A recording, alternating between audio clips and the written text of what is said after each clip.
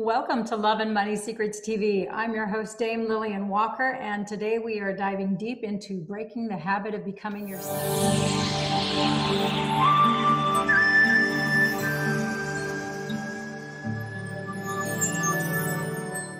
Chapter 5. So let's get started. Survival versus creation.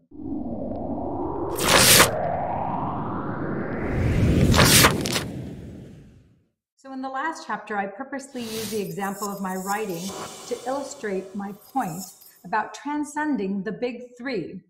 Because when you write, you are creating words, whether on the physical page or in a digital document.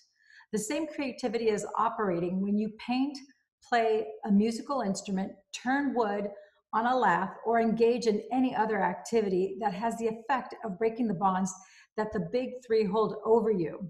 So, why is it so hard to live in these creative moments? If we focus on an unwanted past or a dreaded future, that means that we live mostly in stress and survival mode. So, whether we're obsessing over our health, the survival of our body, paying our mortgage, or the survival for need, for shelter, mm, our external environment, or not having enough time to do what we need to do to survive, most of us are much more familiar with the addictive state of mind we'll call survival than we are with living as creators.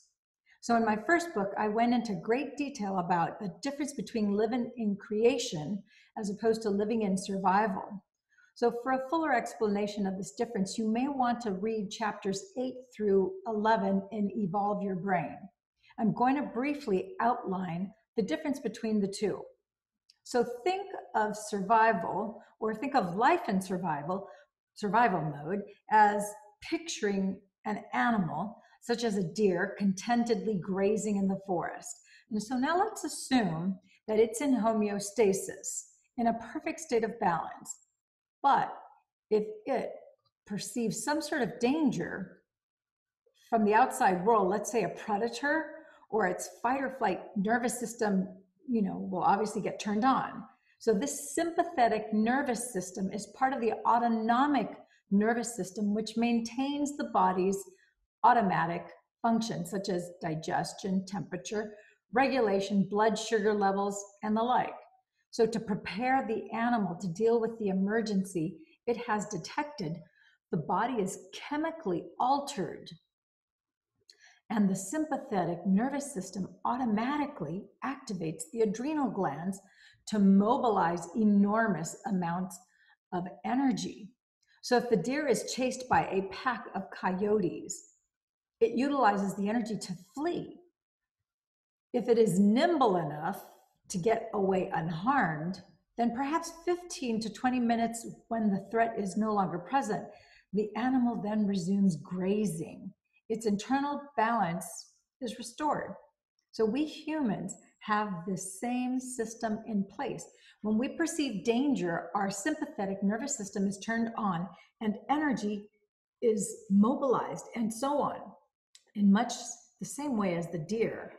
So during early human history, this wonderfully adaptive response helped us confront levels of threat from predators and other risks to our survival.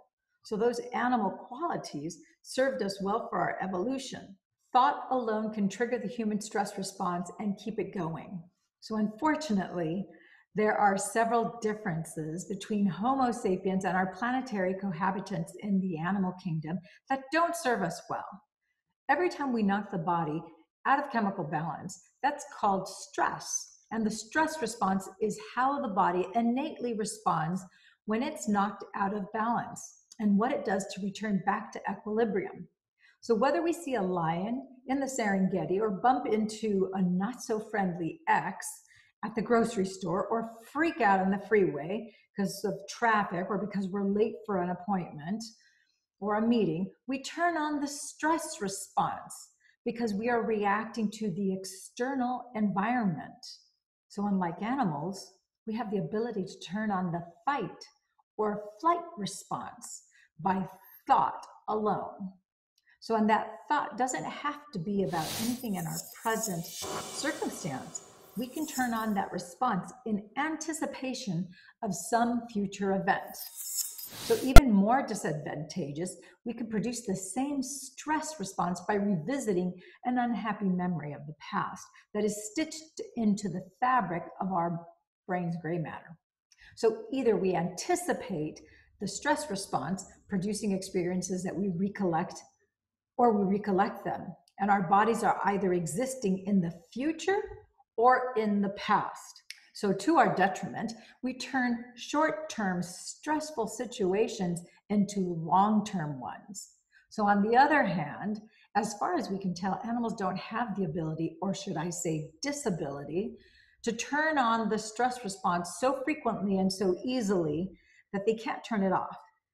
That deer will go back to its happy grazing, isn't consumed with thoughts about what just happened a few moments ago let alone uh, you know the time a coyote chased it two months ago this kind of repetitive stress is harmful to us because no organism was designed with a mechanism to deal with negative effects on the body when the stress response is turned on with great frequency and for long durations of time.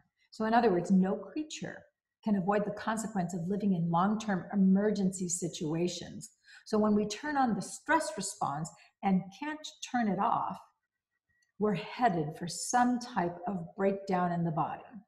When we have long periods of stress like this, I think a lot of times you see people who I've always said for a very long time that whatever the weakest link in your body is, whatever the weakest organ, whatever predisposition to um, weakness, and either a, it could be a system, it could be an actual organ or a group of organs, whatever that weakest part in your body is, so that the energy is the weakest there, so you get the least amount of energetic flow there, that is where your illness is going to manifest. So, a, a common thing that happens to people who are more sensitive of in their solar plexus and their stomach is that they'll have a bad gut reaction, a bad gut feeling. If your stress always goes to your gut, whether it's your intestines or your stomach, then you're going to either have sour stomach or you're going to have perhaps you have a lot of um, gas, maybe you have upper GI problems because it doesn't just stay to your stomach. Now it's starting to go up your esophagus and your trachea. You can have you can actually have upper GI problems. For some people, instead of you know the the fear gripping them in their stomach for some of them it takes their breath away and so it manifests in bronchitis it could be bronchitis bronchiolitis pneumonia you know if if asthma different types of things that are related to respiration and those are all fear responses as you know some other people it could be a lower back issue or you could even have a combination of one, two, or three or more of these. In more severe cases, you can have people that will come down with, with neurological disorders. And so it runs the gamut, but basically, the root cause of all of those things is fear and how we're processing it, how we're using our body to interpret the feeling of fear and that stress response. So when we turn on the stress response and we can't turn it off, we're headed for some type of breakdown in the body. So let's say you keep you, you keep turning on the fight or flight system due to some threatening circumstance in your life. Pause button. You know, maybe you have a perpetual problem with the IRS, or maybe you have a perpetual X uh, with regards to um, spousal support uh, in either direction, either paying it or receiving it. Or maybe you have a perpetual amount of stress because of maybe the number of kids that you have and the number of kids that you're taking care of. Or maybe you have kids and your maybe you have kids and parents that you're watching or kids and in-laws that you're having to care for. Or any combination of situations like this. Maybe it's your family situation plus all your employees at work. Make no mistakes your employees are like your kids. Whether you, they're your direct employees where you own the company or if you're a manager to a company where you manage a group of people anybody who's managed other adults you know will attest to the fact that in some instances it can be like herding cats and it can be a very stressful situation depending on the individual their management style and the group of individuals that you're managing it's a combination of factors of course so let's say you keep turning on the fight or flight system due to some threatening circumstance in your life real or imagined as your racing heart pumps enormous amount of blood to your extremities and your body is knocked out of homeostasis, you're becoming prepared by the nervous system to run or to fight. So, but let's face it, you can't flee to, you know, to the Bahamas, nor can you throttle your fellow employee. That would be primitive. So, as a consequence, you condition your heart to race all the time, and you may be headed for high blood pressure, arrhythmias, and so and so on. So pause button. So another thing that you can have is you can have a, a disruption of the heart where you have a dissonant, you, you, you actually have heart incoherence. It's a dissonance within your heart, so it causes arrhythmias. You can have tachycardia, which is a speeding up unexpectedly of your heart, where it just keeps on beating super, super fast or you can have an arrhythmia, arrhythmia, which basically means that instead of your rhythm being steady, it's infrequent. So you might have go, you know, your heart might go boom, boom, boom, boom, boom, boom, boom, boom, boom, boom, boom, boom, boom, boom, boom, boom, boom, boom, boom, boom, boom, boom, boom, and it might even flutter where it doesn't even fully beat, which is another problem with the heart some of that can also be anger. If if you're someone who is constantly getting angry all the time, again, that is a negative energy. It's going to go to the weakest link in the body, the weakest organ, the weakest organ system, the weakest body system that you have in the body. So, moving on here, and what's in store when you keep mobilizing all that energy for some emergency situation if you're putting the bulk of your energy towards some issue in your external environment, there will be little left for your body's internal environment. Okay, pause button. One of the things that most people don't realize is that when you have that going on, that's a huge energy. It's an energy leak. So that is no different than you running around. Let's say you you have a full meal, you exercise every week, and you are now jumping into your car. Your car, you always maintain it every 3,000 miles or 5,000 miles, whatever your scheduled maintenance calls for, like clockwork. You oil, lube, and filter. You you make sure that you change the oil, and you're like methodical about that. And you get a tune up every 50,000 miles or whatever your scheduled maintenance calls for. However, even though you fill up the gas tank, and let's say you're supposed to get 300 miles to the tank, but unbeknownst to you, you have an energy leak. And where is that energy leak coming from? You have a hole in your gas tank. Depending on the size of your hole, you at the beginning may not notice the energy leak.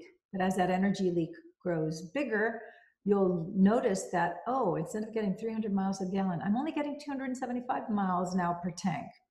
Wait a minute, I'm down to only 250 miles instead of getting full three. You're losing 50 miles a tank. Well, that's what these energy leaks that we're talking about right here.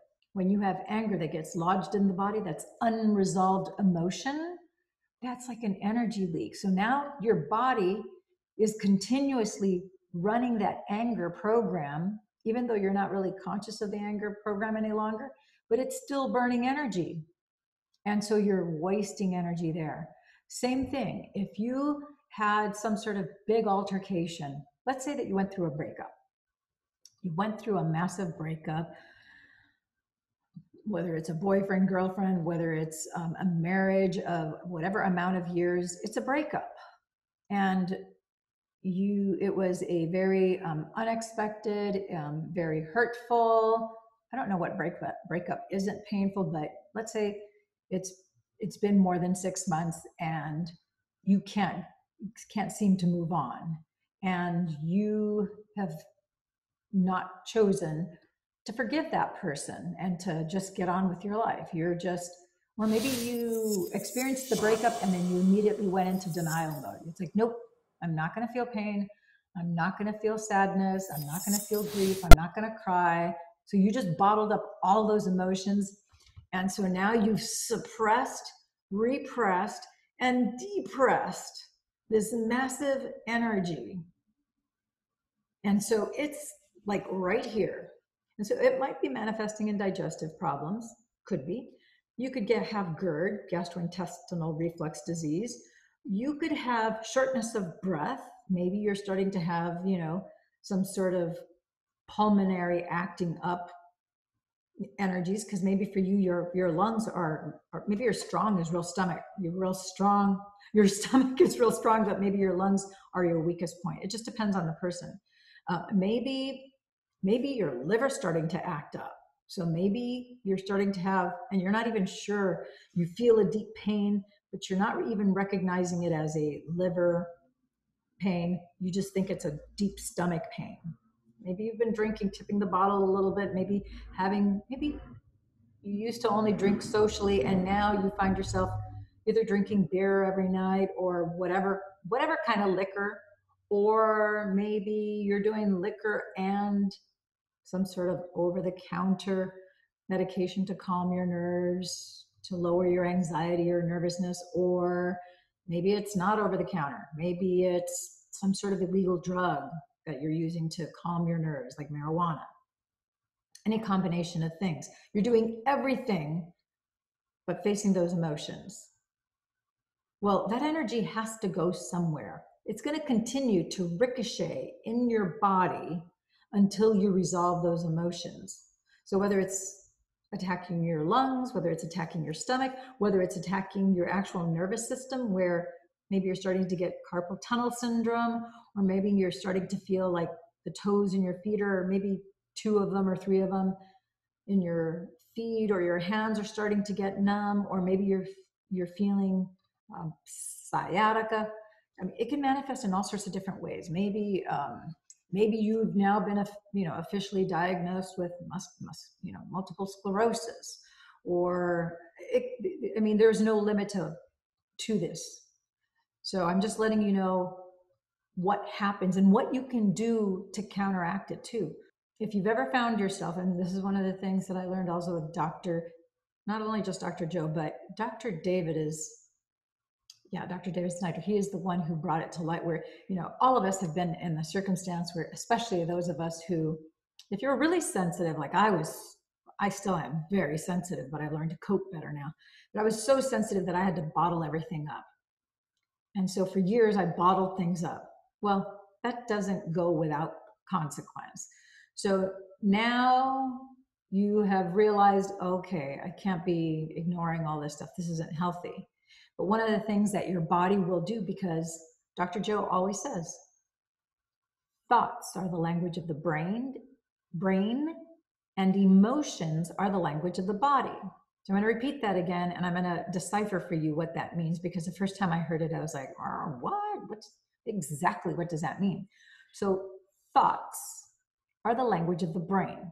So your brain is the organ that verbally verbally interprets and vibrationally and frequency interprets every thought, feeling, action, or emotion that you've ever had, whether it's conscious or unconscious.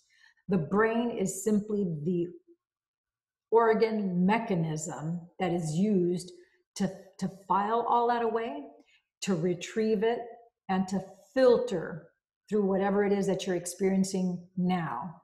So you could be, every time you get into the car, you might always be wearing uh, dark shade glasses of, oh my gosh, I might get into a car accident if you've had multiple car accidents before, as an example. Or if you you've had um, if you're a serial relationship person and let's say you've had you know 20 30 40 relationships and they all last six months to a year and a half but never more than that and that means that every time you get into a relationship you put on the sunglasses of you know they're dark glasses that the expiration date is six months to a year and a half. So every time you get into a relationship at the six months to a year and a half point, you either you self sabotage, you do something to make sure that that doesn't go beyond that six month to year and a half mark because that's what your brain has recorded and you've never bothered to unpack that energy and release it and let it go. So let's go back to the example of a breakup because that's something that I had to go through twice in the last 10 years. So, what your brain does, and Dr. David Snyder talks about this, where you'll be driving, and let's say you've repressed, depressed, suppressed those emotions because you don't want to deal with it. You don't want to suffer. You don't want to have pain. You don't want to have grief. You don't want to cry. You just want to bottle it up. You don't want to deal with it. You're just in denial. So, what happens is that you'll be driving your car and you'll be all happy.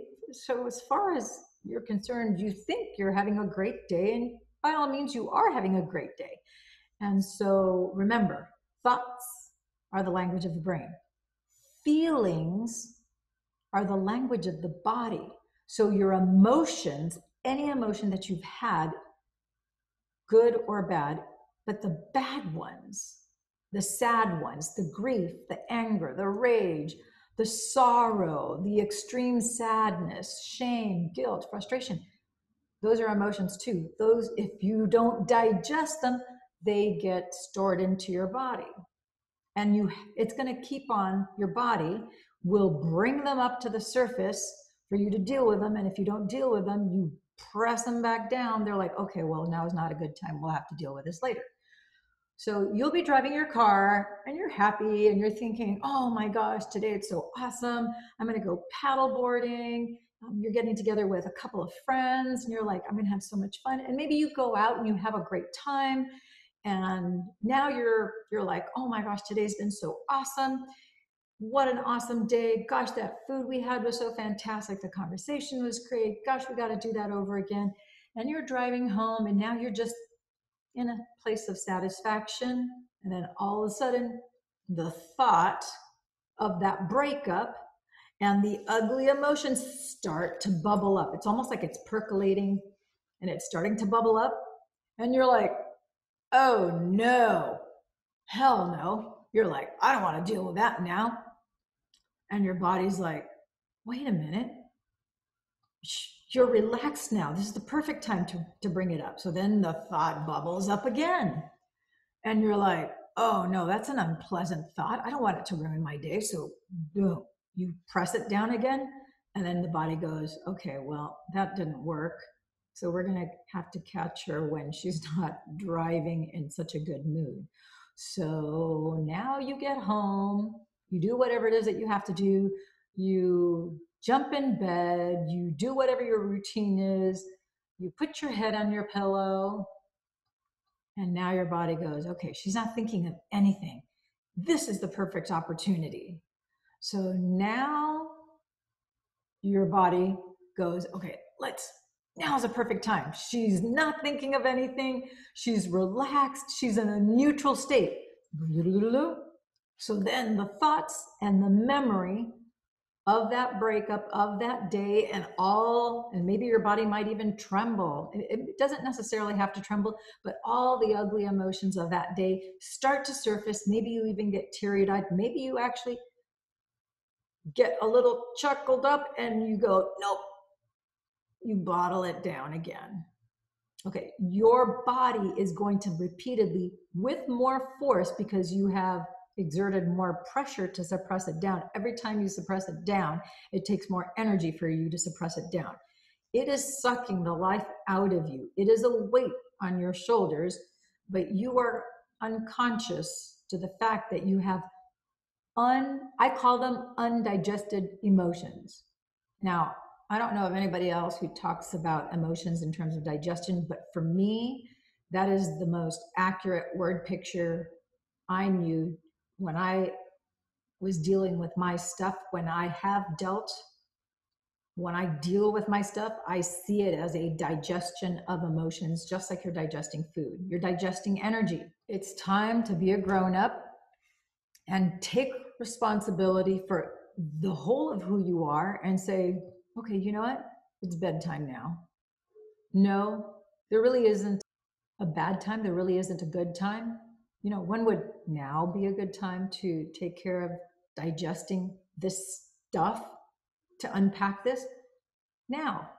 I don't want to keep carrying this. I don't want to have this energy suck. I don't want to feel drained.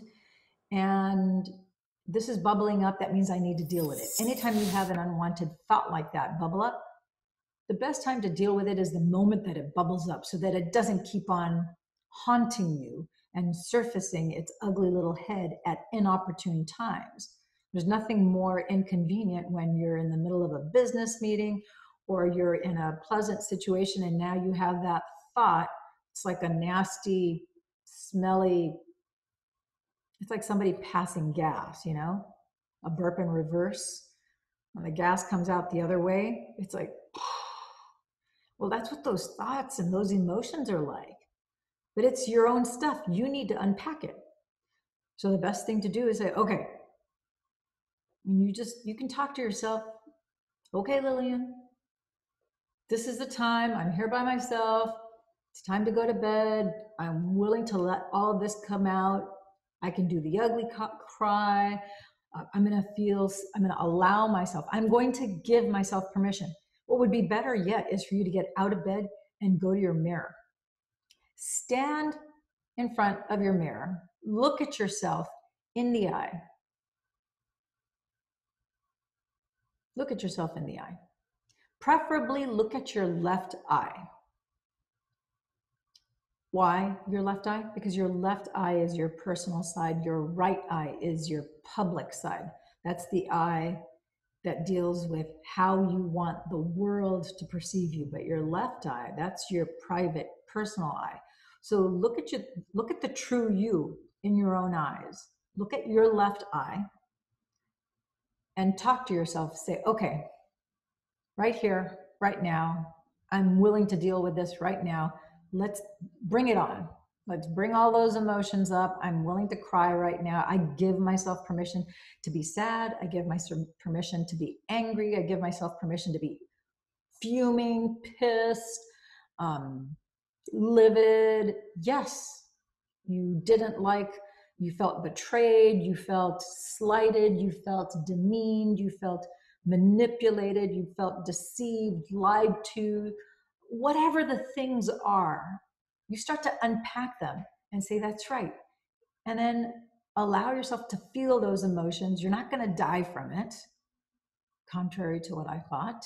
You could die, that you get, get so sad, that you could get so angry that you could die. No, you're not going to die from this. In fact, you're going to feel much better when you're done.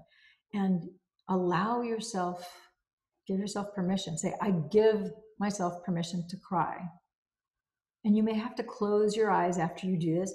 It might even behoove you to sit down and do a little writing exercise and write down every everything that you feel, everything that you thought that was unjust, that was unfair, that was um, very callous, that was insensitive, whatever whatever it is, whatever it is that's bothering you, just write it all out.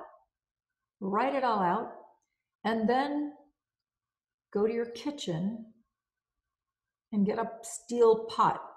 If you have a fireplace, it's even better. But if not, a steel pot will do.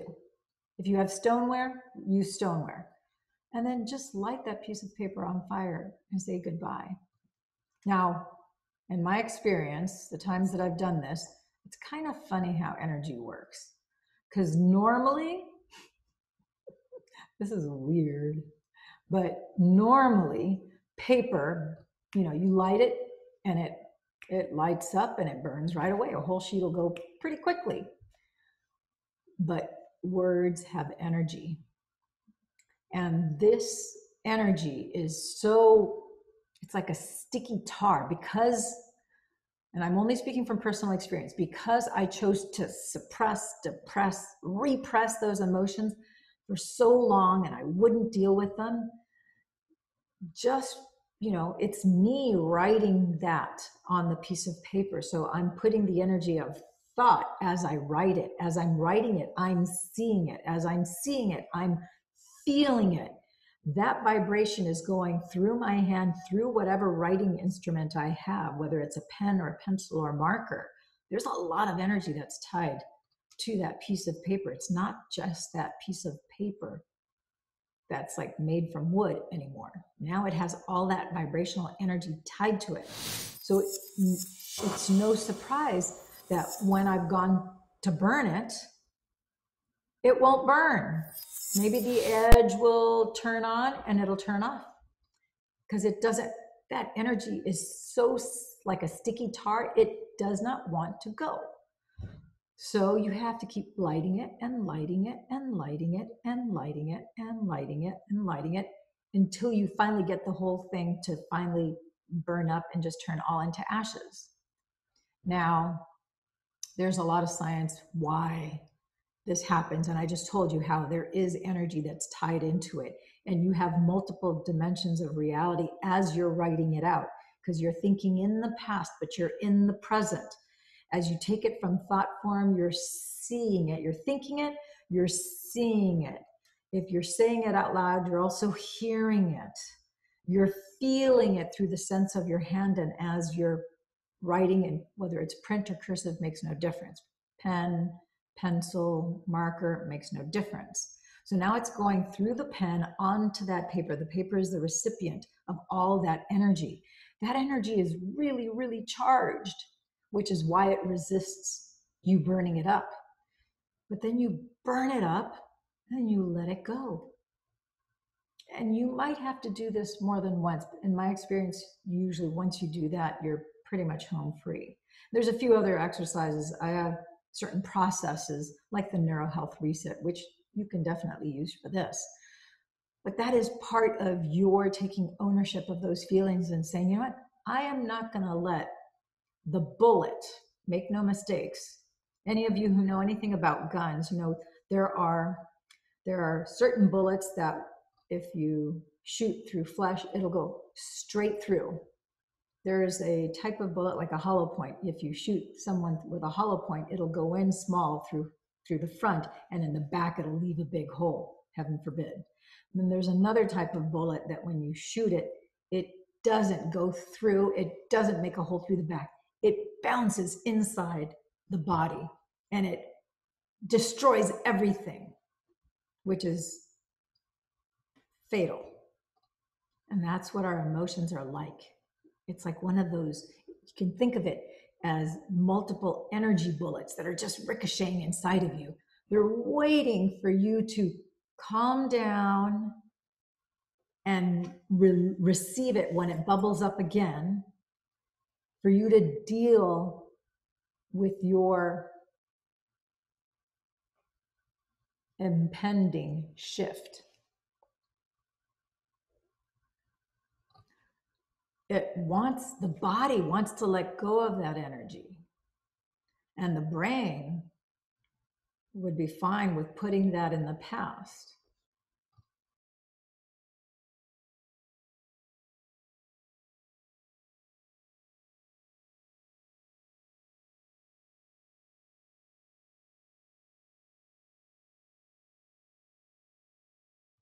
The brain is just going to do whatever your conscious mind tells it to do. And if not, it's just going to go on default programming. That's what all this this information about breaking the habit of becoming yourself. This is all about self-mastery. So you have to learn to master your own emotions. And I guess we could argue that being able to bottle up your emotions in the face of adversity, in the face of a very unwanted situation, is a certain level of self mastery because you didn't allow yourself to just explode or to just get angry in that moment. You just bottle that emotion up. But you know what? You can't just end the self mastery there. Self true self mastery doesn't let that garbage you know, I don't know about you, but if I were to keep all the trash that I create in my home and never take it out to the dumpster and let the rubbish can company take it away, eventually I would have so much trash inside my house that it would stink. And that's what happens in our bodies. But we're so ignorant. We don't know this oftentimes. In some families, they're pretty good about teaching and conditioning the kids to deal with whatever stuff as it comes up. But in in other families, we don't have the best emotional hygiene. And we're taught to repress, suppress. And the thing is, it's like a huge weight, but it's causing all this damage inside of our body. Now, once we are aware, like right now, the person who's looking at this video right now over this camera, you're being put on notice. There's a reason. This is, you've been asking, you've been praying, seeking, and guess what? You're finding this is one of the answers. This is one of the secrets to, to owning your power, to stepping into your truth, stepping into your power, because you are going to recapture all this energy that's been bouncing, ricocheting, causing all this damage inside of your body. Ultimately, it's going to cause a tremendous amount of disease. So, the sooner you take all that garbage and say, out, this is no longer in my present. This is now part of my past. You can even command your brain to keep the lessons so that now those are jewels that you can throw them into your crown. And now that is wisdom. You will recognize certain patterns the next time so that you avoid ever doing that mistake or enter entering entering into a situation that looks feels and sounds like that. That is not a good familiar place to go to. You want to go to a healthy familiar place not an unhealthy familiar place. So let's move on in the book. I um, I, felt that that was really important. For me it was a game changer and i hope that um, it is for you too. Your immune system that's the other thing. This stuff can also wreak havoc on your immune system. It can just deplete it because, again, it's sucking the life force energy out of you.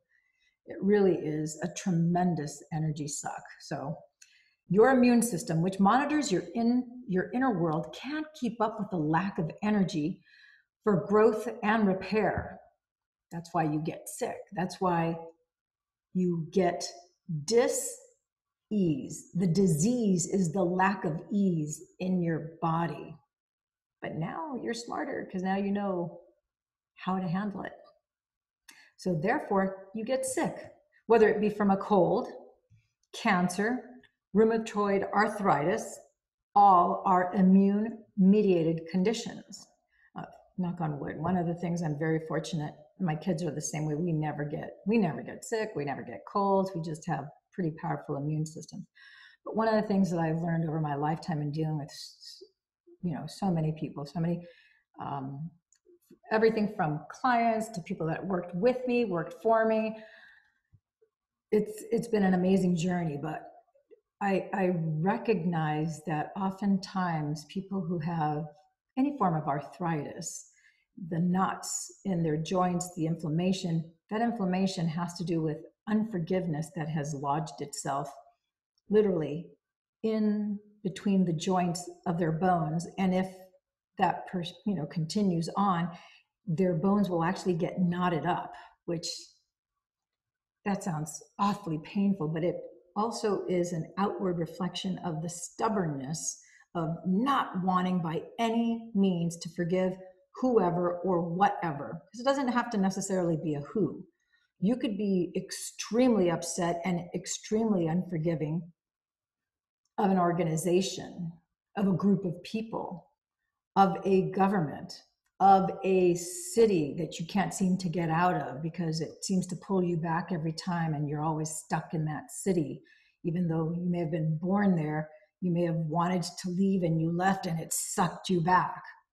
And so you're really, you know, your anger is hurled at that city and all of its inhabitants. When you think about it, the real difference between animals and ourselves is that although we both experience stress, humans re experience and pre experience traumatic situations. So, what is so harmful about having our stress response triggered by pressures from the past, present, and future? When we get knocked out of chemical balance so often, eventually the out of balance state becomes the new norm. So, as a result, we are destined to live our genetic destiny. And in most cases, that means suffering from some sort of illness. So, the reason is clear the domino effect from the cascade of hormones and other chemicals we release in response to stress can dysregulate some of our genes, and that may create disease. So, in other words, repeated stress pushes the genetic buttons that cause us to begin to head toward our genetic destiny. So, what was once very adaptive behavior and a beneficial biochemical response, fight or flight, has become a highly maladaptive and harmful set of circumstances. Because make no mistakes, when you have that negative reaction, whether it's anger, rage, frustration, sorrow, sadness, depression, so on and so forth, you have a certain chemistry. It's a cocktail of any combination of 140,000 chemicals that our brain produces. Our body will produce up to 140,000 chemicals in order to upregulate or downregulate the genes that we have. And then that genetic code will either express or not express whatever it is that's in the blueprint of the DNA.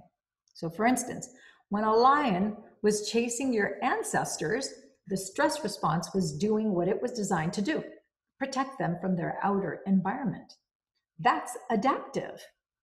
But if for days on end you fret about your promotion, over focus on your presentation to upper management, or worry about your mother being in the hospital, these situations create the same chemicals as though you were being chased by a lion.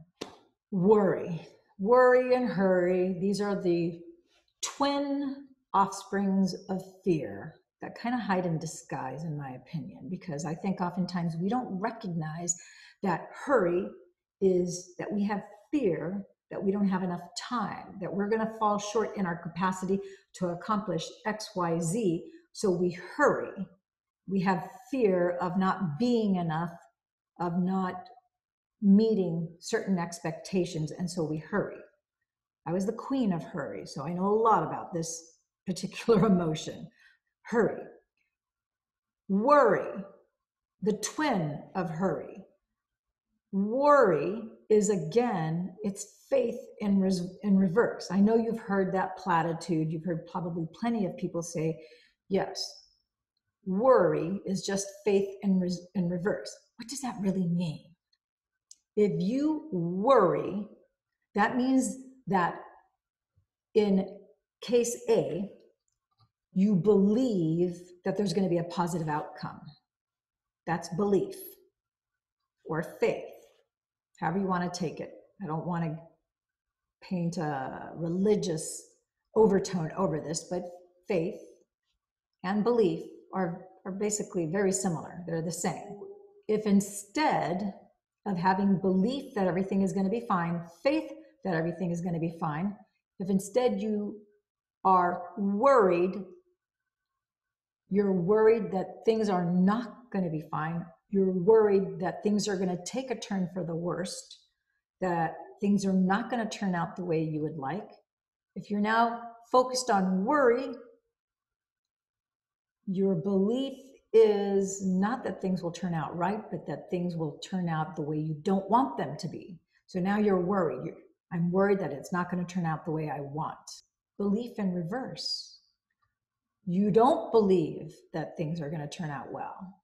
That's an energy suck too. And as we know from everything that we've learned, if you were part of our reading, reviewing, and applying of Becoming Supernatural, all 14 chapters by Dr. Joe Dispenza, the first book that we read starting about, I don't know, three weeks ago. And this book, which is Breaking the Habit of Becoming Yourself by Dr. Joe, you will know that thoughts are powerful. Thoughts, you can change the outcome.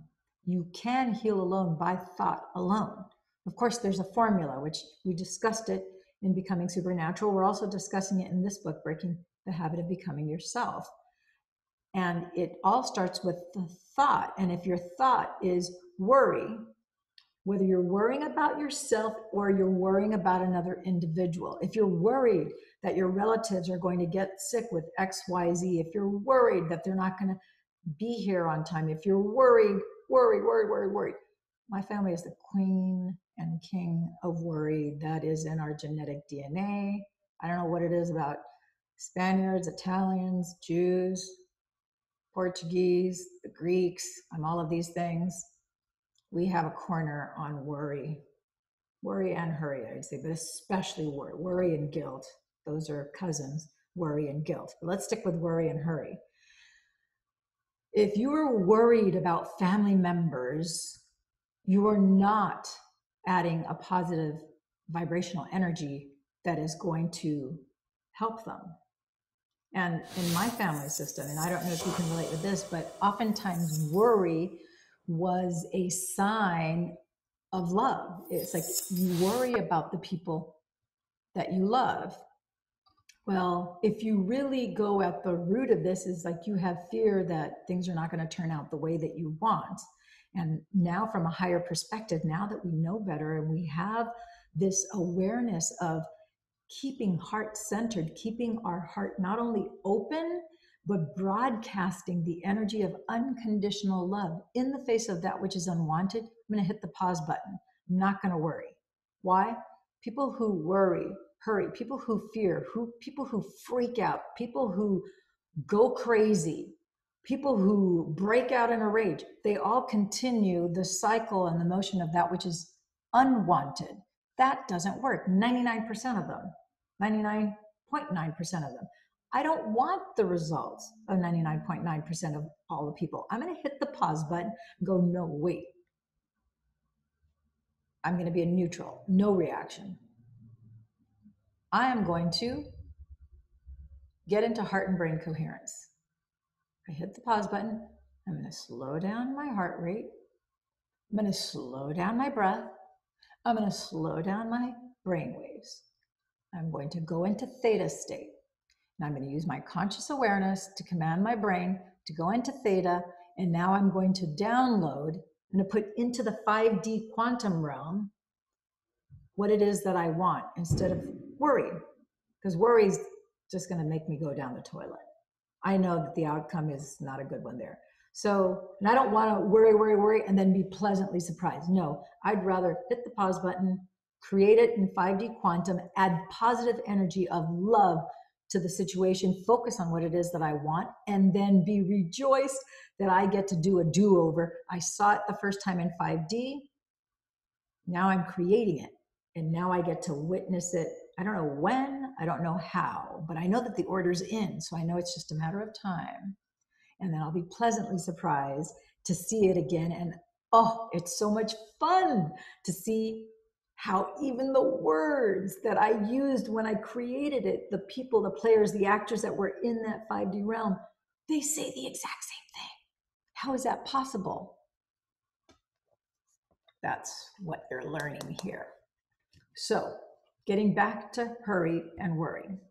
We talked about worry about your mother being in the hospital. These situations create the same chemicals as though you were being chased by a lion. So now that's maladaptive. So we're not going to do that anymore. And the trick is to catch yourself going, oh my gosh, or oh no. Wait a minute, red flag, pause button. I'm not going to do that anymore. I don't want those results that everybody else gets. I'm mastering myself one unwanted thing at a time. We're funny creatures. We start off with mastering ourselves with one unwanted thing at a time. And then after you get better at mastering that, then you start to add, oh, I could do the exact same thing for the wanted things.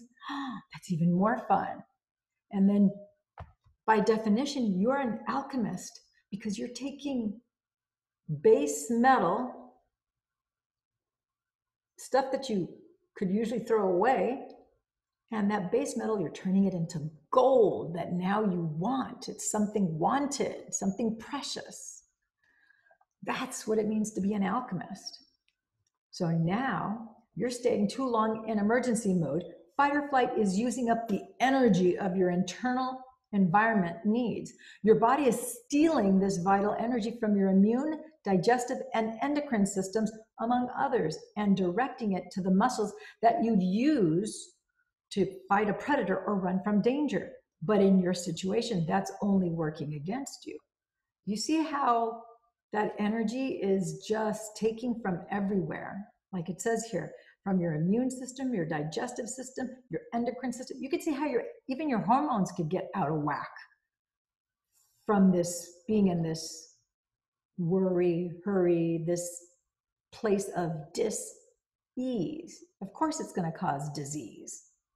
So, from a psychological perspective, overproduction of stress hormones, that's at the root of all of this. You have stress hormones that are there unnecessarily. So now you can dissipate them, transmute them, change them into energy that uplifts you. And now you step into your power. So, overproduction of stress hormones creates human emotions of anger, fear, envy, and hatred. These incite feelings of aggression, frustration, anxiety, and insecurity, and causes us to experience pain, suffering, sadness, hopelessness, and depression.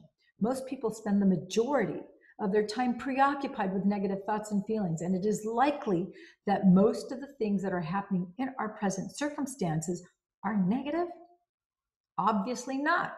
Negativity runs so high because we are either living in the anticipation of stress or re experiencing it through a memory. So, most of our thoughts and feelings are driven by those strong hormones of stress and survival. When our stress response is triggered, we focus on three things, and they are of the highest importance. One, the body, it must be taken care of. Two, the environment. Where can I go to escape this threat? That's why some people are called runners, because as soon as an obstacle, a problem, a challenge hits, they, they literally run, they flee. And the third one is time.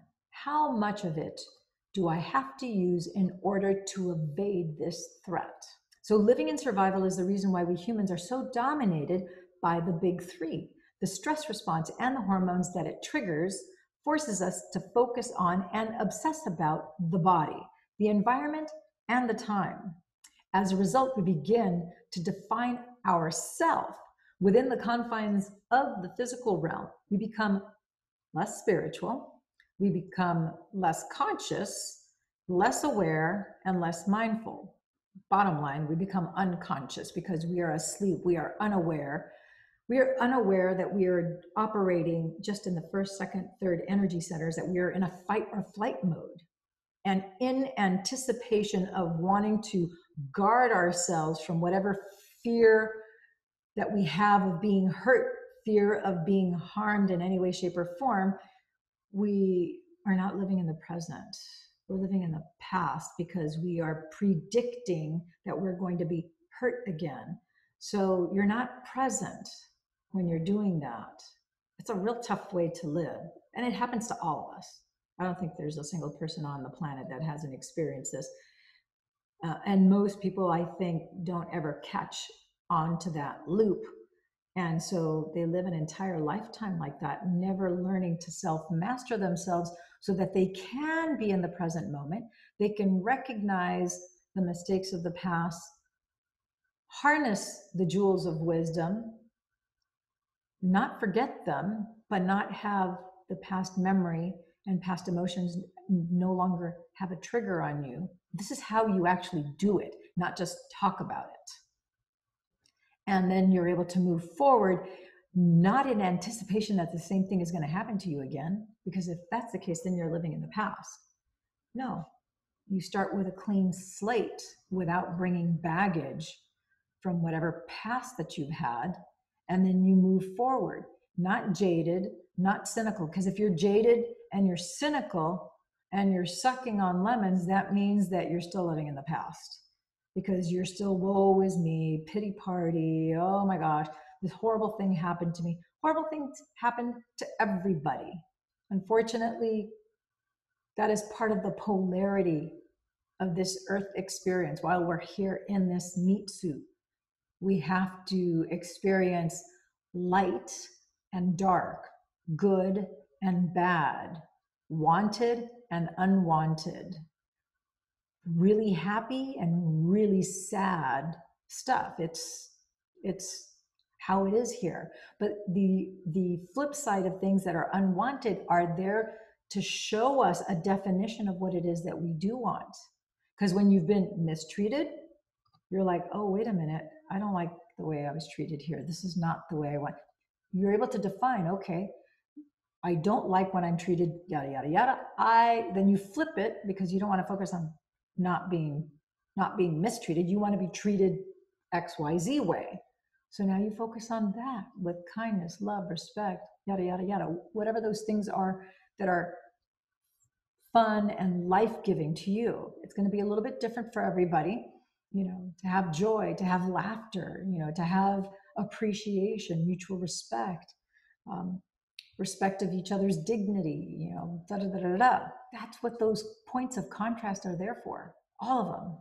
Every single thing. Every thing that has happened to you. This is one of the things that I learned with, uh, I think it was uh, Neale Donald Walsch he talked about in his book, Conversations with God. And in there it says that everything that's happened to you has been out of love.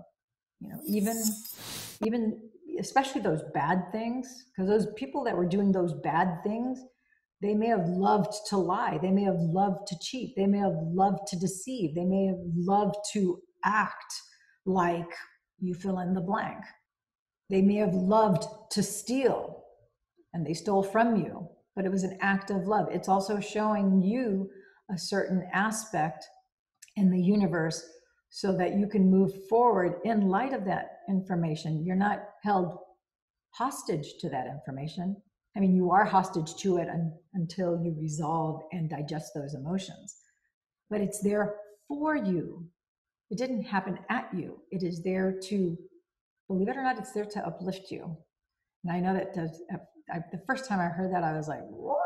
How could that possibly be? And it's like, okay. And I, I was learning this all at the same time when my mentor, Bill Nasby, the late Bill Nasby, brilliant man, died two Christmases ago. And he'd been my mentor for over a decade. And one of the things that he said that the power, like your power lies in your ability to respond with ability to each individual thought, action, and motion. So when you become responsible, you become response to each individual thought that you have, act, and motion. That's where your primary control lies. And I remember the first time he said that to me, I had to have him repeat it three times because I couldn't believe my ears. It was it was so true. It was piercing. I heard it. It pierced me at such a deep level and it's kind of like it got me in the heart first before it got me in the ears. And so I almost couldn't hear it with my auditory ears. It's almost like I heard it with my heart ears, which is, I know it sounds kind of strange, but as you move on in this, it'll make sense to you. Don't worry about it if it doesn't make sense to you, it will. And that was a huge aha for me when I started to recognize that. And then I started to have to integrate it into my being and taking responsibility for anything and everything that had ever happened to me in my entire life, good, bad, or indifferent, doesn't matter. I'm responsible for it all because I'm the one who is here creating this experience. Just as I'm creating this experience with you, I'm creating this video and you are you are watching, whether it's now or tomorrow or a week from now, two years from now, 20 years from now, it doesn't matter. We are co-creating this together. Just like a button. Every button has its hole you know there's like pieces everything fits this entire universe is organized like pieces of a puzzle where things come in together some of them dovetail more easily than others but everything fits together like a puzzle so as a result we begin to define ourselves within the confines of the physical realm we become less spiritual less conscious less aware less mindful so put another way we grow to be materialists we don't stay in the potential energy waveforms, we become materialists. And as you collapse your electromagnetic field, you become more dense, more particle, less wave, We know what the consequence to that is. We become materialists, that is, habitually consumed by the thoughts of things in the external environment. So our identity becomes wrapped up in our bodies. We are absorbed by the outer world because that is what those chemicals force us to pay attention to. They're forcing us, but we still have free will. Friends and gems, make no mistakes. Your brain and your ego will make you think otherwise. But, friends and gems, once you are aware of your awareness and you become to realize and understand and know that your awareness can be focused and you can command your brain and use the organ of your brain. You are the master of your brain. You can tell your ego, I understand why you are there. You are there for definition, for clarity, for posterity, for contrast. I don't need you anymore and shut up. You're being put in timeout in perpetuity. Brain, do as I say. And now you focus all of your energy on love, on your love, because that's what you're doing. You're harnessing the love that's always been there. Then maybe a little times more than others, it's sleepy because sometimes we gave the throne to fear instead of love, but it's there. It's always, it's always been in there. And now you're just opening up your heart bigger. You're feeling more love than you ever have before. And the more you grow that love, the more powerful you become because you're standing in integrity of who you truly are and you are accepting that power of who you truly are. And now that you accept that power, now you can start to mold the clay in the 5D quantum realm and you can start to get those energy waveforms to turn into particles. And you get enough particles going that boom, then it turns into a 3D manifest, manifestation. So we're absorbed by the outer world because that is what those chemicals force us to pay attention to. Things we own, people we know, places we have to go, problems we have to face, hairstyles we dislike, our body parts, our weight, our looks in comparison to others, how much time we have or don't have. You get the picture. And we remember who we are based primarily on what we know and things we do. Living in survival causes us to focus on the 0.00001%. So again, point 0.0001% instead of the 99.99999% of reality. Survival, living as a somebody. Most of us embrace the traditional notion of ourselves as a somebody. But who we really are has nothing to do with the big three who we are in consciousness connected to a quantum field of intelligence. When we become this somebody, this materialistic physical self living in survival, we forget who we truly are. We become disconnected and feel separate from the universal field of intelligence. The more we live impacted by stress hormones, the more chemical rush becomes our identity. If we fancy ourselves solely physical beings, if you're just going to acknowledge just the meat suit, the container, like in this case, this container at birth, obviously it was a lot smaller. It was five and a half pounds when I was born. So that container was named Lillian. So that's what my parents named me, but that's not that's not who I am. That is loud and clear now. And if this is the first time you're hearing that, that might sound may sound a little perplexing to you. But I think in fact, I don't think, I feel and I know without a shadow of a doubt, as you dive deeper into the meditations, as you really start to embrace this knowingness, you're going to realize when you go into meditation, you're no one, nobody, no thing, nowhere, no place, and no time. Dr. Joe talks about it relentlessly. You have to be the nobody, not the somebody. You have to be no one, no body, no thing, nowhere, no place, and no time. You become detached from the physical container of who you think you are. You're this 5D entity stuck in this little meat suit. And you're not limited to this meat suit. You are unlimited, but you need to.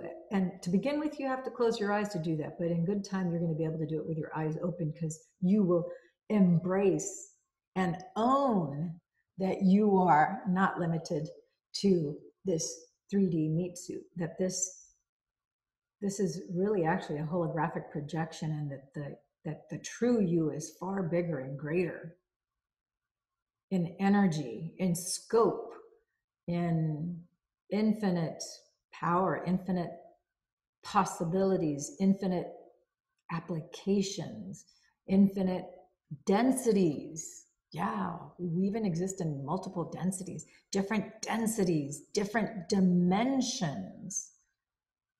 There's all sorts of good stuff here, but one thing at a time. And you knew all of this. This is all remembering because you already you already know all of this, but you've forgotten. So now you're remembering the member of now your physical body is re bringing it back and going, oh, that's right. Yeah, because when you were a baby, you knew all of this. And before you were born, you knew all of this. Because your soul has always existed. So now you're coming back to this truth. Now you're getting back into that void so that you can do both and, both and, not either or, both and. The physical you the non physical quantum infinite you. You're bringing them together. This is such an exciting thing to do.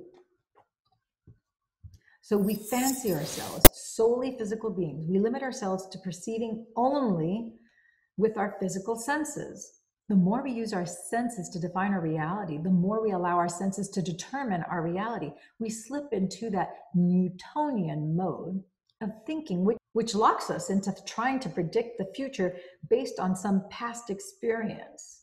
Newton, you know, all of Newton's laws, Isaac Newton. But we're not going to do that anymore. So, if you recall, the Newtonian model of reality is all about predicting an outcome. It's again held to that belief that based on all these laws, that you can have a familiar, predictable outcome. But we know different now, don't we? So now we are trying to control our reality instead of surrendering to something greater. All we're doing is trying to survive. First three energy centers. So if the quantum model of reality ultimately defines everything as energy, so why do we experience ourselves more as physical beings than as beings of energy? We could say that the survival oriented emotions, emotions are energy in motion, are lower frequency or lower energy emotions. They vibrate at a slower wavelength and therefore ground us into being physical.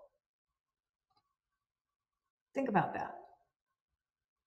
From a physics perspective, makes total sense because since your energy is being locked into your first, your second, and your third energy center, so your perineum, base of your spine, two inches below your navel, two inches above your navel, your first three energy centers, None of the energy is going to your heart, let alone to your fifth energy center, your voice. You're not going to be able to speak your truth, that's for sure. It's not going to your pineal gland, not going to your pituitary, and definitely not going to your eighth energy center. It's locked in the first three. By definition, your electromagnetic field has collapsed, and now you're real dense. Dense matter, which you're more heavy, which is going to ground you more, rightfully so once you're out of that fight or flight mode and you get the energy to move up into your heart, you open up that heart, you broadcast that energy of love. That energy has to go now up to your fifth energy. So now that you can also express your truth, that energy center now goes up. It's inevitable. It's going to go to your pineal gland, your third eye. That pineal gland is going to start to grow the transducer because the calcium carbonate you know, those five little crystals, they're like rhombohedrons, they start to, to shimmer until boom, the little antenna literally grows on top of the pineal gland. The pineal gland, in fact, looks like this little pine cone. That's what it looks like.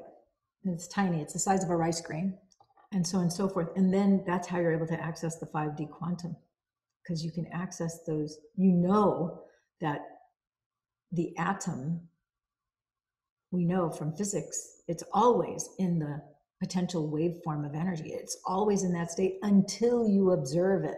The moment you observe it, then it turns into particles. So now you observe what it is that you want to turn it into the particles that you want. I hope this is making sense to you all. So they vibrate the dense particles, they're a slower wavelength. The energy wavelengths are moving at the speed of light. The other ones are slower and they're a denser energy. They vibrate at a slower wavelength and therefore ground us into being more physical. We become denser, heavier, and more corporeal, more body like. That's what corporeal means. Because that energy causes us to vibrate more slowly. The body quite literally becomes composed of more mass and less energy, more matter and less mind. I'm sure a lot of you people have felt how some people will walk into a room, and as soon as they walk into a room, the room feels heavier or darker. And as soon as they leave, the room lightens up that is evidence that their electromagnetic field is collapsed. They are very dense, dense matter, very grounded. They don't have, they're not connecting to the divine at all, at all. Figure 5a the higher frequency waves at the top are vibrating faster and therefore are closer to the vibratory rate of energy and less to that of matter. Moving down the scale, you can see that the slower the wavelengths, the more material the energy becomes. Thus, the survival emotions ground us to be more like matter and less like energy. So, emotions such as anger, hatred, suffering, shame, guilt, judgment, and lust make us feel more physical because they carry a frequency that is slower and more like that of physical objects. However, the more elevated emotions, such as love, joy, gratitude, are higher frequencies. And as a result, they are more energy like and less physical and material. So it might make sense to you that if we inhibit our more primitive survival emotions and begin to break our addiction to them, our energy will be higher in frequency and less likely to root us to the body. So, in a way, we can liberate energy from the body, and your body has become the new mind into the quantum field. Wow. So, as our emotions become more elevated, we will naturally ascend to a higher level of consciousness and closer to the source and feel more connected to the universal intelligence. Now, let me correct something right now because throughout all of this, I've been talking about the divine. I always motion up to the divine, to the source. The reality is, this is the truth. And as you dive into this, you're going to know this. It's like you don't have to take my word for it, you just know. I mean, we all have read, we've all, when it comes to the different scriptures, whether it's you know, Christian Bible, Catholic Bible, the Jewish uh, Torah, the Old Testament. Um, it talks about even even in Buddhism and in other religions, it talks about how God is within us and all around us, that God is everywhere, God, God is omnipresent. But when you are doing these meditations, make no mistakes, yes, God is not up there, God is not out there. You are going to lose the feeling, the sense of your body because you won't feel your hands, you won't feel your feet, you don't feel your body. You are lost in the void. And in that void, you become one with, with God. You are an aspect, you are a reflection of God.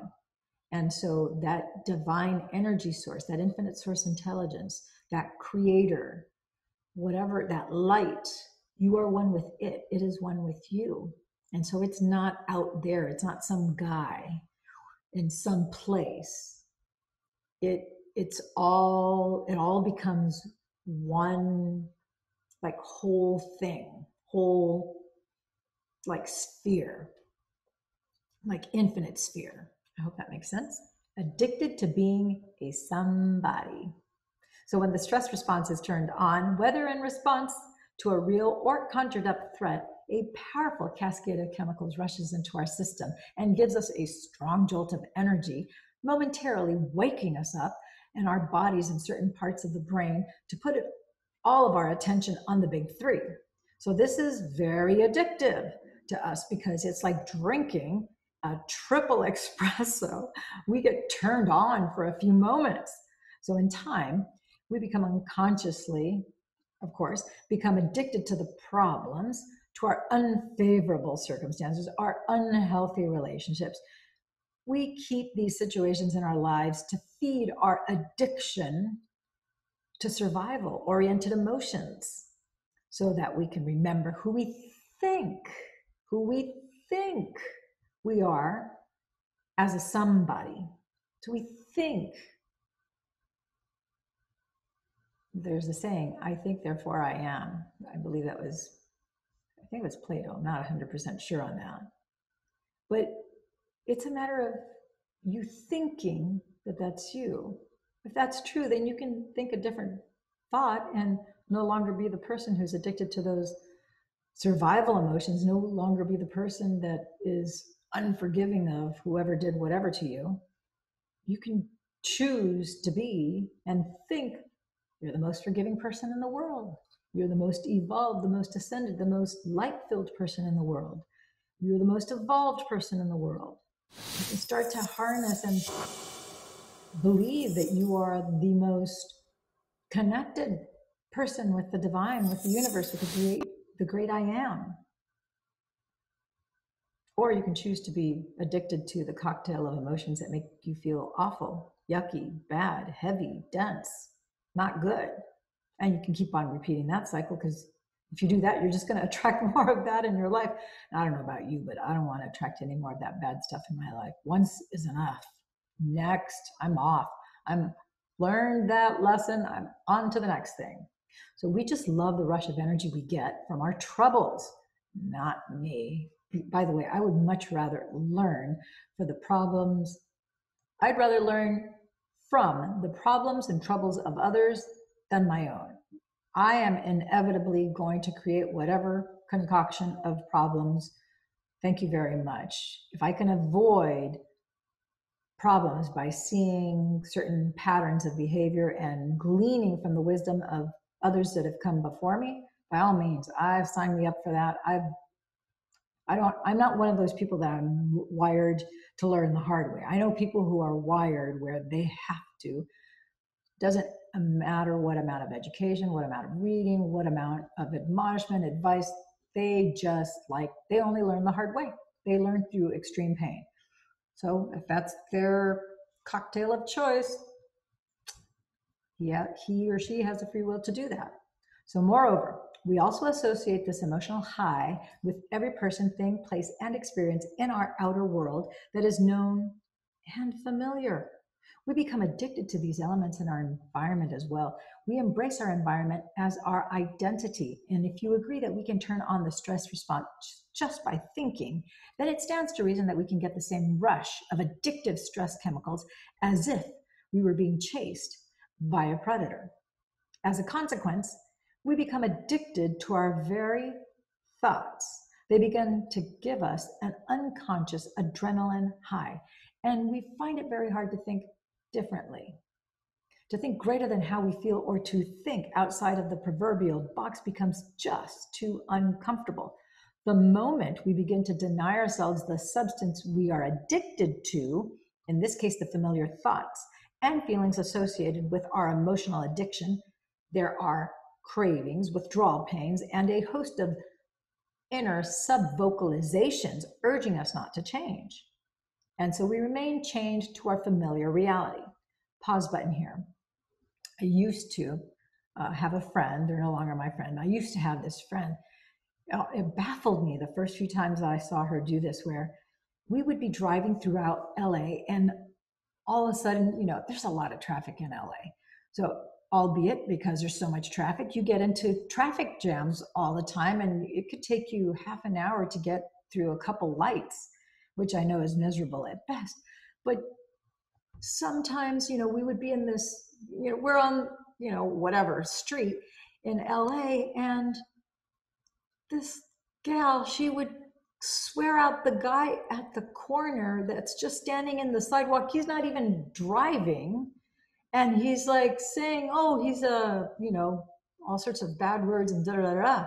And I'm like, Why are you hurling negative energy at that person over there? They have nothing to do with the traffic. They're not even driving, they're a pedestrian. What's it to you? And then she would say, Oh, it's just kidding. But she wasn't kidding.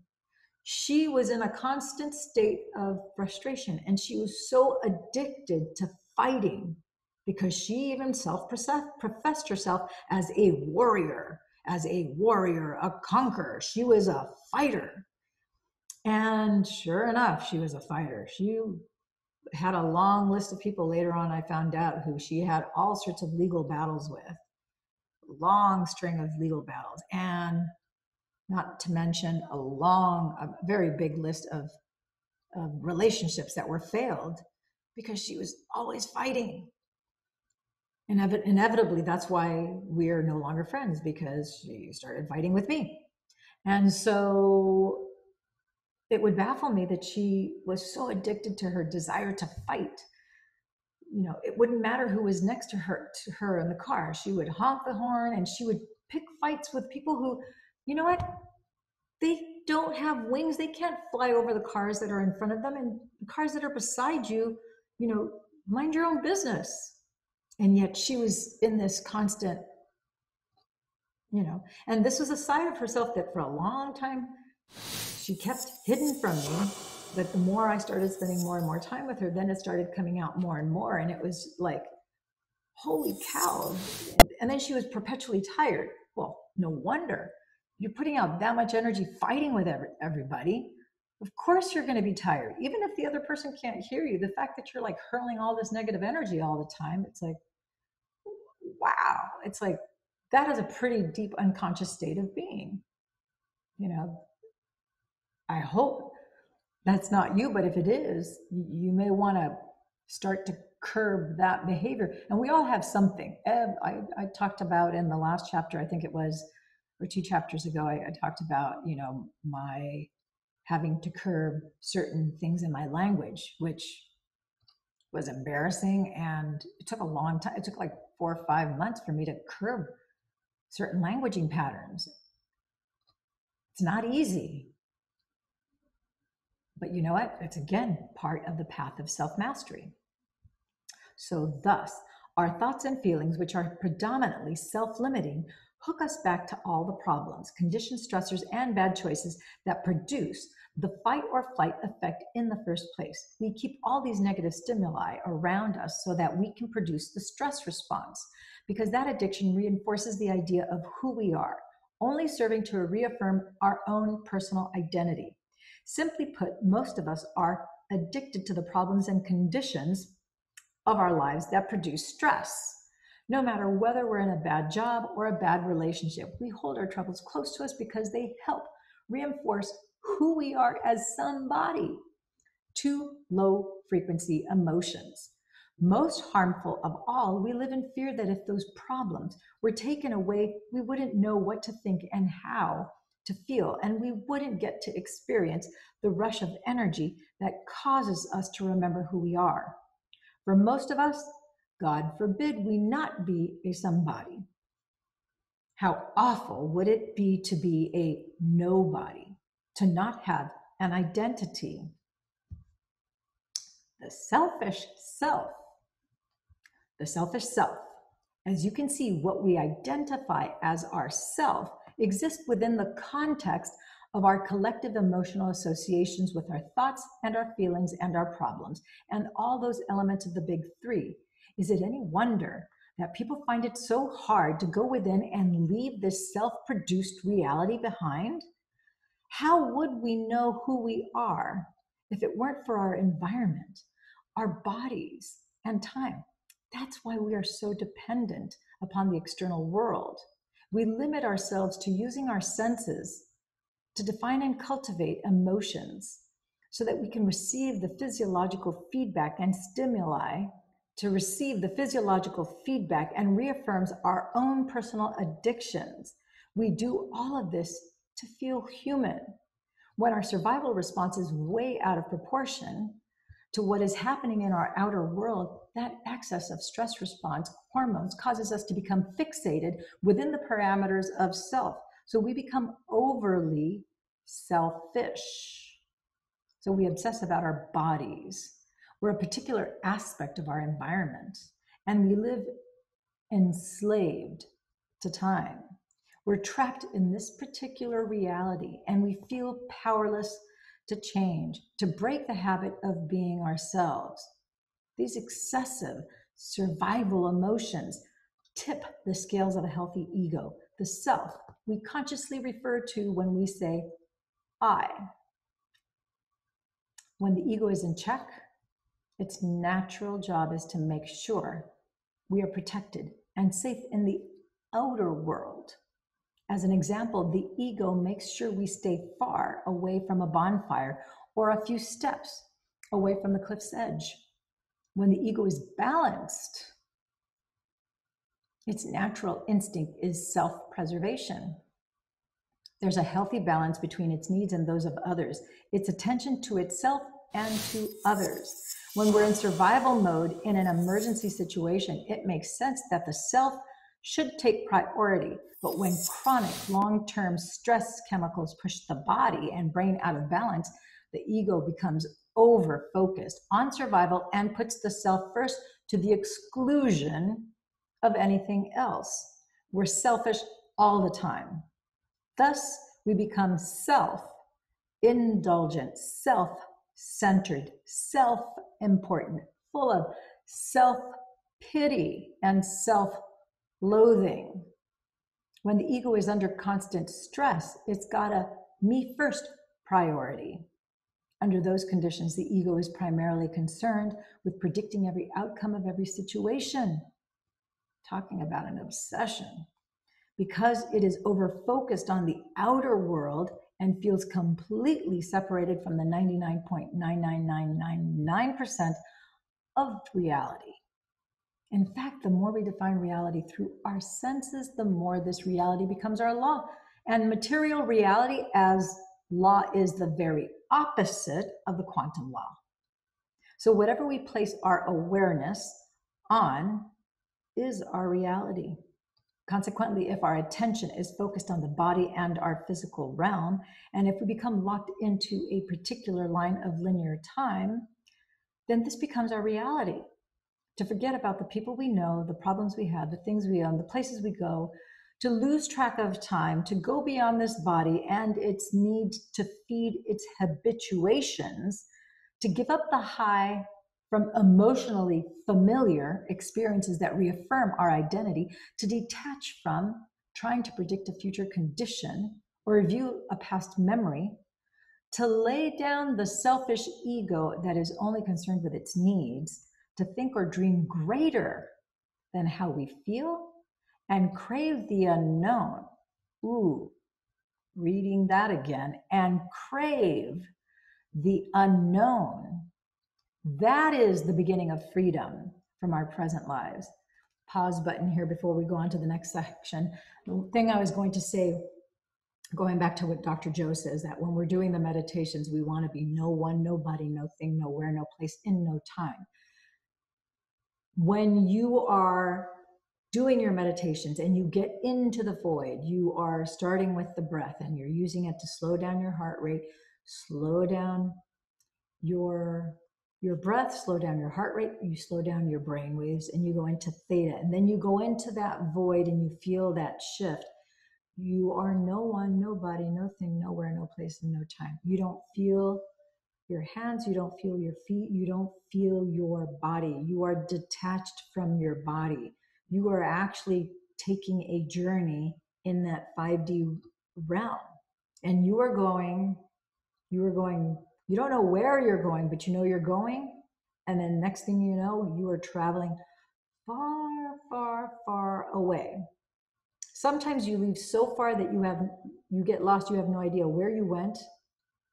You leave, and at some point in time, you come back. You have no notion of how long it took. But while you're gone and while you're in that realm, it's the most freeing, peaceful place to be because you're no longer your name. Like I'm no longer Lillian. I'm no longer whatever my profession, whatever it is I do for a living. I'm not my age because that is a it's a paradigm that's only relevant on Earth. It's irrelevant out in quantum because in quantum, everything is existing at the same time. So I am not a person of a certain age. I am I'm a spirit energy being. So all the constructs that we have in 3D reality that the world would normally cast upon us, you're free of all of that. One of the things that over the last, uh, what, seven or eight years, it's stepping away from the whole title title in terms of what you do for a living. It's like oh what you do for a li-. it's become more complicated because i have several things that i do. And i can say one thing. It's like you start to also look at at what is true what is true and what is real from a more comprehensive perspective. Because I could just identify myself exclusively with the construct that I'm a mother. And it's true, I am a mother. I'm so much more than a mother. That's just an aspect of me on this earth plane is being a mother. Uh, I or I could just be I could not disclose that and I could just be a sister or I can be neither of those and I could just be a writer. Or I could deny all of those things combined and just be a YouTuber. Am I really any of those things? Yeah, I'm all of those things, but I'm so much more than all of those things. You are not that label our society likes to put a label on you so that they can take the average sum of what the what the majority of the people are if you're a teacher if you're an engineer if you're a doctor if you're a lawyer and sum you up so that they can stop listening and not really getting to know the who the real you of who you are because you are so much more than that and most people actually i know tend to have more than one facet of their life that they are very passionate about. So when you're in that 5D realm and you're wanting to create a new you, a new improved version of you, you can be any combination and all of those things and even more. You get to decide what it is that you want to create for you and yourself so that then you show up in the world in that realm. If our thoughts can make us sick, can they make us well? Let's go one step further. I explained earlier that we can turn on the stress response by thought alone. I also mentioned that scientific fact that the chemicals associated with stress pull the genetic trigger by creating a very harsh environment outside of our cells and thus creating disease. So, by pure reason, our thoughts can actually make us sick. If our thoughts can make us sick, might they also make us well? Let's say that a person had some experiences within a short frame of time that caused him to feel resentful. As a result of this, his unconscious reactions to those occurrences, he held on to his bitterness. Chemicals responding to this emotion flooded his cells. Over weeks, his emotion turned into a mood, which continued for months and changed into a temperament, which was sustained for years and formed a strong personality trait called resentment. In fact, he memorized this emotion so well that his body knew resentment better than the conscious mind because he remained in a cycle of thinking and feeling, feeling and thinking that way for years. I've known people like that based on what you learned about emotions as the chemical signature of an experience, wouldn't you agree that as long as this person clings to resentment, his body will react as though it is still representing and still experiencing the long ago events that first caused him to embrace this emotion? Moreover, if the body's reaction to those chemicals of resentment disrupted the function of certain genes, and this sustained reaction kept signaling the same genes to respond in the same way, might the body eventually develop a physical condition such as cancer? Hmm. If so, is it possible that once he memorized the emotion of continuous resentment by no longer thinking the thoughts that created the feelings of resentment, and vice versa, his body as the unconscious mind would be free from the emotional enslavement? Hmm. In time, would he stop signaling the genes the same way? And finally, let's say he began thinking and feeling in new ways to such a degree that he invented a new ideal of himself related to a new personality. As he moved into a new state of being, might he signal his genes in beneficial ways and condition the body into an elevated emotional state ahead of the actual experience of good health? Could he do this to the extent that the body would begin to change by thought alone? What I just described in simple terms happened to a student in one of my seminars who overcame cancer. Bill, 57, was a roofing contractor. A lesion had appeared on his face, and a dermatologist diagnosed it as malignant melanoma. Although Bill underwent surgery, radiation, and chemotherapy, the cancer reoccurred in his neck, then his side, and finally his calf. Each time he underwent a similar course of treatment. Bill naturally expo- experienced whiny moments.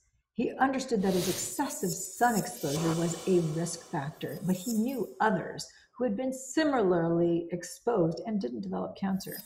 He fixated on the unfairness. So, after treatment for the same cancer on his left flank, Bill pondered whether his own thoughts, emotions, and or behaviors had contributed to the condition. In a moment of self-reflection, he realized that for more than 30 years he had been stuck in resentment, thinking and feeling that he had always had to give up what he wanted for the sake of others. Wow, that's a big victim script. So, for example, he had wanted to become a professional musician after high school, but when an injury left his father unable to work, Bill had to join his family's roofing company. He habitually re experienced his feelings upon being told he had to give up his aspirations to the extent that his body still lived in the past. This also set up a pattern of dreams deferred. Whenever something didn't go his way, such as the housing market collapsing just after he expanded the business, he always found someone or something to blame. Bill had so memorized the emotional response pattern of bitterness that it dominated his personality and became an unconscious program. And his state of being had signaled the same genes for so long that they had created the disease that now afflicted him. No longer could Bill allow his environment to control him. The people, places, and influences in his life had always dictated how he thought, felt, and behaved. So he sensed that to break the bonds with his old self and reinvent a new one, he would have to leave his familiar environment. So, for two weeks in Baja, Mexico, he retreated from his familiar life. The first five mornings, Bill contemplated how he thought when he felt resentment, and he became a quantum observer of his thoughts and feelings, and he became conscious of his unconscious mind. Next, he paid attention to his previously unconscious behaviors and actions. Thoughts, behaviors, and actions. He decided to halt any thought, behavior, or emotion that was unloving toward himself. Pause button. That's exactly what I decided to do when I was in Cancun.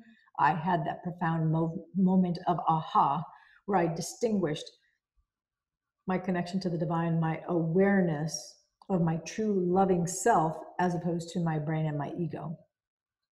And I thought, nope, no more. No more. The distinction became so crystal clear. Thank God. It really was a profound, lucid moment, the moment I had that awareness. So after the first week of this vigilance, Bill felt free because he had liberated his body from its emotional addiction to resentment. And by inhibiting the familiar thoughts and feelings that had driven his behaviors, in a sense, he impeded the signals of the survival emotions from conditioning his body to the same mind. And his body then released energy, which was available to use to design a new destiny for himself. For the next week, Bill became so uplifted that he thought about the new self he wanted to be and how he would respond to the people, places, and influences that previously controlled him. For instance, he decided that whenever his wife and kids expressed a wish or a need, he would respond with kindness and generosity instead of making them feel like a burden. In short, he focused on how he wanted to think, act, and feel when presented with situations that had challenged him in the past. He was creating a new personality, a new mind, and a new state of being. Bill began to put into practice what he'd placed in his mind while sitting on the Baja bench. Shortly after his return, he noticed that the tumor on his calf had fallen off. In a week or so, when he went to his doctor, he was cancer free. He has remained that way. By firing his brain in new ways, Bill changed biologically and chemically from his previous self. As a result, he signaled new genes in new ways, and those cancer cells couldn't coexist within his new mind, new internal chemistry, and new self. Once trapped by the emotions of the past, he now lives in a new future. I would say in a new free future. Next section is creation, creation, living as a nobody. At the end of the previous chapter, I briefly described what it is like to live in a creative mode. Those are the moments of being fully engaged and in a flow so that the environment of the body and time all seem immaterial and don't invade our conscious thoughts. So, living in creation is living as a nobody. Ever notice that when you're truly in the midst of creating anything, you forget about yourself? You disassociate from your known world. You are no longer a somebody who associates with your identity with certain things you own, particular people you know, certain tasks you do, and different places you've lived at specific times. You could say that when you are in a creative state, you forget about the habit of being you. You lay down your selfish ego and become selfless. You have moved beyond time and space and become pure immaterial awareness. Once you're no longer connected to a body, no longer focused on people, places, or things in your external environment, and beyond linear time, you're entering the door of the quantum field. You cannot enter as a somebody, you must do so as a nobody. You have to leave the self centered ego at the door and enter the realm of consciousness as pure consciousness. And as, a, as I said in chapter one, in order to change your body, to foster better health, somebody or something in your external circumstance, a new job or relationship, perhaps, or your timeline towards a possible future reality, you have to become nobody, no thing, in no time. So, thus, here is the grand hint to change any aspect of your life, body, environment, or time, you must transcend it. You must leave behind the big three in order to control the big three. I'm going to say that again. Here is the grand hint. I'm going to repeat this. This is second time. Write this down. To change any aspect of your life, body, environment, or time, you must transcend it. You must leave behind the big three in order to control the big three there lies the paradox. It's like a juxtaposition where, in order to gain control of it, you have to let it go. And in letting it go, you have all the control in the world now. The frontal lobe, domain of creation and change. Mm-hmm. When we are in creation, we are activating the brain's creative center. The frontal lobe part of the forebrain and compromising the prefrontal cortex. This is the newest, most evolved part of our human nervous system and the most adaptable part of the brain. It tends to be the creative center of who we are and the brain's CEO or decision making apparatus. The frontal lobe is the seat of our attention. Focus, concentration, awareness, observation, and consciousness. It is where we speculate on possibilities, demonstrate firm intention, make conscious decisions, control impulsive and emotional behaviors, and learn new things. So, for the sake of understanding, the frontal lobe performs three essential functions. These will all come into play as you learn and practice the how to meditative steps for breaking the habit of being yourself in part three of this book metacognition. For the sake of our understanding, the frontal lobe performs three essential functions. These will all come into play as you learn and practice the how to meditative steps for breaking the habit of becoming yourself in part three of this book metacognition. Becoming self aware to inhibit unwanted states of mind and body. If you want to create a new self, you first have to stop being the old self in the process of creation, the first function of the frontal lobe is to become more self aware.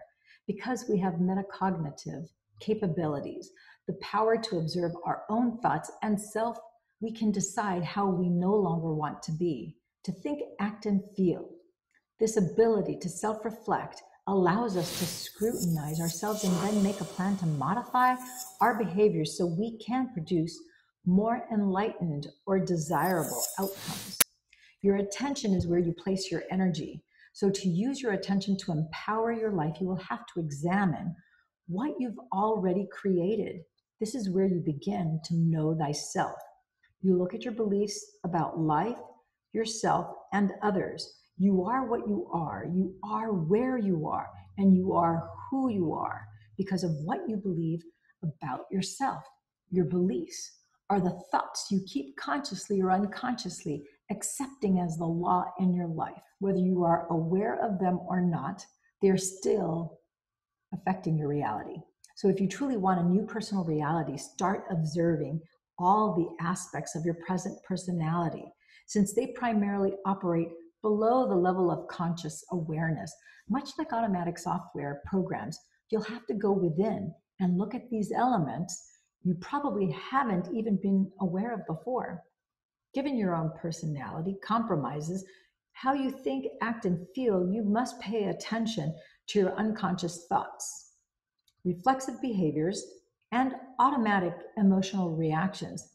Put them under observation to determine if they are true and whether you want to continue to endorse them with your energy. To become familiar with your unconscious states of mind and body, take an active will, intention, and heightened awareness if you become more aware, you will become more attentive. If you become more attentive, you will be more conscious. If you grow to be more conscious, you will notice more. If you notice more, you have a greater ability to observe self and others. So, both inner and outer elements of your reality. Ultimately, the more you observe, the more you awaken from the state of conscious mind into the conscious awareness. So, the purpose of becoming self aware is so that you no longer allow any thought, action, or emotion you don't want to experience to pass by your awareness. Thus, in time, your ability to consciously inhibit those states of being will stop, and the same firing and wiring of old neural networks that are related to the old personality, and as a result of no longer creating the same mind on a daily basis, you prune away the hardware that is related to the old self. In addition, by interrupting the feelings that are associated with those thoughts, you are no longer signaling genes in the same way. You are stopping the body from reaffirming itself as the same mind.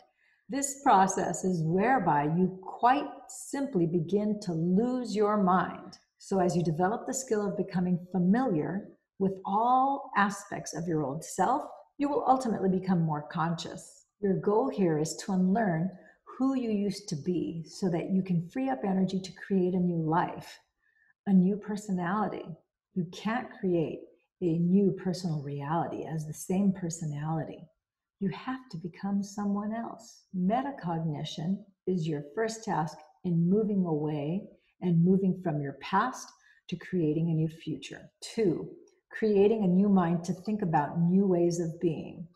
The second function of the frontal lobe is to create a new mind to break out of the neural networks creating a new mind to think about new ways of being. The second function of the frontal lobe is to create a new mind, to break out of the neural networks produced by the ways that your brain has been firing for years on end and influence it to rewire in new ways.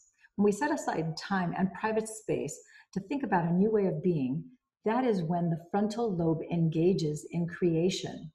We can imagine fresh possibilities and ask ourselves important questions about what we really want how and who we want to be, and what we want to change about ourselves and our circumstances. Because the frontal lobe has connections to all other parts of the brain, it is able to scan across all the neural circuits to seamlessly piece together stored bits of information in the form of networks of knowledge and experience. Then it picks and chooses among those neural circuits, combining them in a variety of ways to create a new mind. In doing that, it creates a model or internal representation that we see as a picture of our intended result. It makes sense then that the more knowledge we have, the greater the variety of neural networks we've wired, and the more capable we are of dreaming of more complex and detailed models. To initiate this step of creation, it is always good to move into a state of wonder, contemplation, possibility, reflection, or speculation by asking yourself some important questions. Open ended inquiries are the most provocative approach to producing a fluent stream of consciousness. What would it be like to? What is a better way to be? What if I was this person living in this reality? Who in history do I admire? And what were his or her admirable traits? The answers that come will naturally form a new mind because as you sincerely respond to them, your brain will begin to work in new ways. So, by beginning to mentally rehearse new ways of being, you start rewiring yourself neurologically to a new mind. And the more you can remind yourself, the more you'll change your brain and your life. So, whether you want to be wealthy or a better parent or a great wizard for that matter, it might not be a bad idea to fill your brain with knowledge on your chosen subject so you have more building blocks to make a new model of reality you want to embrace. Every time you acquire information, you're adding a new synaptic connection that will serve as the raw materials to break your pattern of your brain firing the same way. The more you learn, the more ammo you have to unseat your old personality.